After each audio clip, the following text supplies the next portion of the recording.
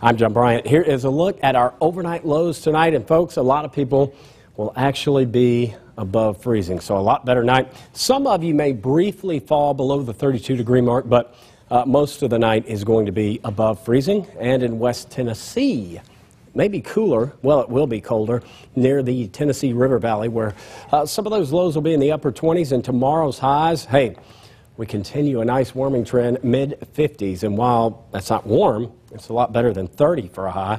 Uh, and some of you in North Mississippi could actually approach 60, so that'll be nice too. Mid 50s are generally forecast for West Tennessee. Everybody will be dry and sunny. Your extended forecast shows a great day Saturday with a high of 63. Sunday, an increase in clouds, but not a bad day. Slight chance of rain Sunday night. Better chances on Monday ahead of a weak cold front. But notice every night is going to be above freezing. Thanksgiving, that's in view and it looks good, mostly sunny and 63.